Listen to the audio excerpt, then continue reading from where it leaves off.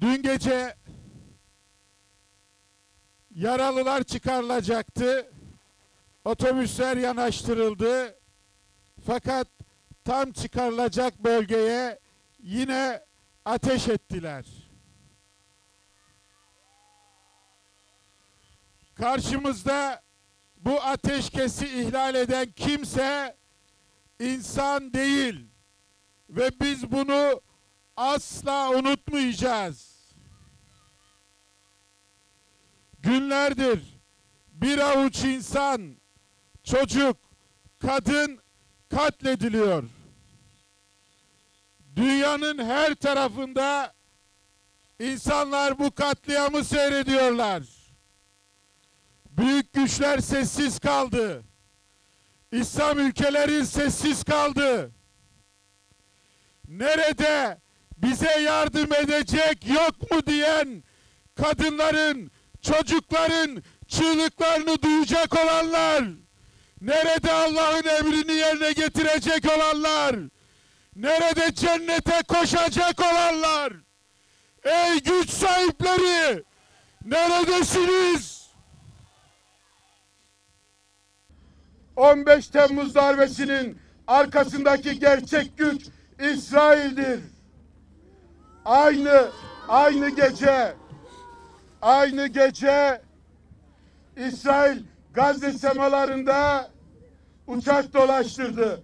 Helikopter dolaştırdı. Filistinlerin tesis konuşmalarında yakaladığı şuydu. Erdoğan düştüğünde vuracaksınız. Aynı gece. Niçin İsrail demiyorsunuz? Korkmayın. İsrail değil.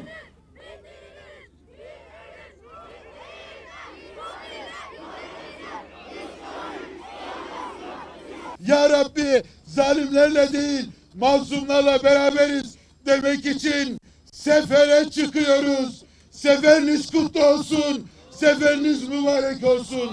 Allah'a emanet olun.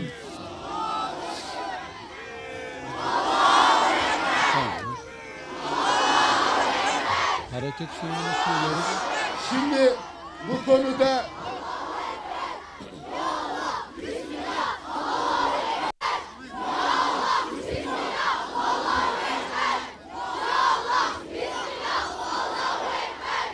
Değerli kardeşler, Allahu Teala bu çabamızı, bu gayretinizi bereketli kılsın inşallah.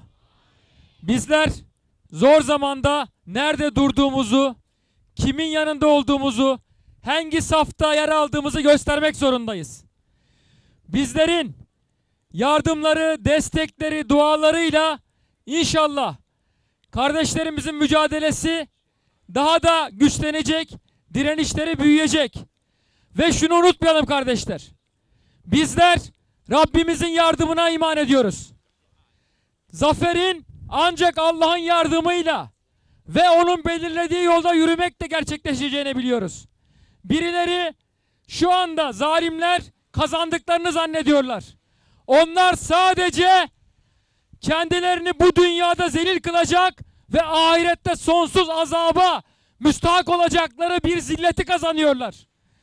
Bizler ise Müslümanlarsa şehit olduklarında en büyük zorluklara da karşılaştıklarında dahi inşallah izzeti kazandıklarını ve Rabbimizin sonsuz ahiret mutluluğunu kazandığını biliyoruz ve buna iman ediyoruz.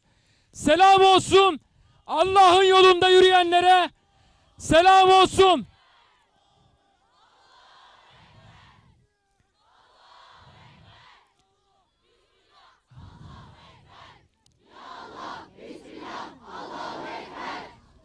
Tam 6 yıldır bütün zorluklara Amerika'sına, Rusya'sına, İran'ına, Esed katiline ve bütün dünyanın müstekbirlerine karşı Ya Allah senden başka kimsemiz yok diyerek haykıran ölüme evet ama zillete asla diye haykıran Suriye halkına selam olsun. Halep'in yiğitlerine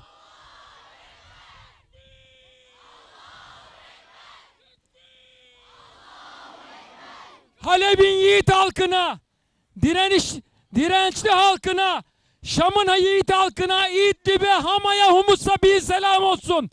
Ve kardeşlerinin yanında duran Müslümanlara sizlere de bir selam olsun.